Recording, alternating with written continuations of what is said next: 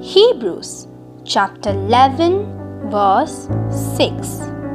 But without faith it is impossible to please him. For he that cometh to God must believe that he is, and that he is a rewarder of them that diligently seek him.